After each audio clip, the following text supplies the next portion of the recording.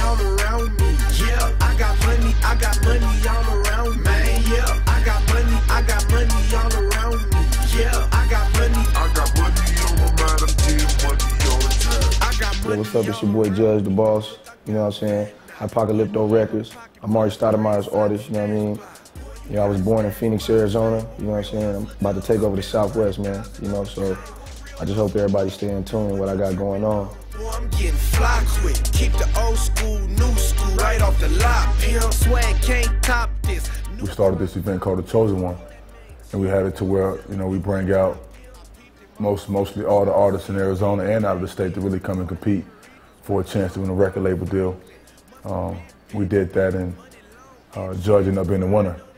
And, you know, once, once Judge won it, uh, we got him here in the studio and we saw his passion toward music was, was greater than what we, what we expected. You know, he, he's been doing a phenomenal job of really coming in and working, you know, and really, really getting comfortable behind the board and behind the mic, you know, so, um, and, you know, his passion toward music is, is, is great, man. I think that's what it takes to be great at any craft you, you in is your passion toward it. If you enjoy doing it, it brings out the best in you. All around me, yeah. Had money when Stoudemire found me, yeah. Made money out of Section 8. I signed with Apocalypto Records. There wasn't a studio, you know, and I gave uh, I gave T King and Amare my CD, and I think I was a little better than you know they thought I was gonna be. You know what I mean? Um, due to the, all the music that they really heard coming out of Phoenix, Arizona. You know, and it, you know they called me, man. They, they they brought me to a studio. They had a studio here, like you know, what I'm saying they they had got it for me. You know, so I feel real blessed. You know, I've been able to work on it every day. I've been able to do what I wanted to do. You know what I'm saying? Be my own person and just be creative. You know what I mean? Just sit here and zone out by myself with nobody. You know what I mean? And really just be giving me no input. I just do me.